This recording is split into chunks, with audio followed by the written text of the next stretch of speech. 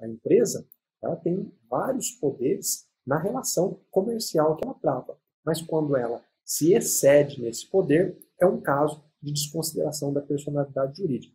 Imagina a seguinte situação: determinada empresa vende um equipamento para um consumidor. Não, o consumidor compra o equipamento lá como consumidor, compra o equipamento da empresa. Esse equipamento apresenta defeito e, e o consumidor ele procura a empresa, fala, olha, eu comprei com vocês esse aparelho, esse aparelho está com defeito. Ele procura é, a empresa, ele se desentende lá com a empresa e a única assistência técnica que há lá naquela cidade onde ele mora, a empresa proíbe a assistência técnica de atender. Fala, olha, esse, esse consumidor aí é, comprou com a gente, está falando que o produto deu defeito, mas você não atende ele não. Ou seja, o poder que ela tem sobre as assistências técnicas é o poder justamente de atender o consumidor.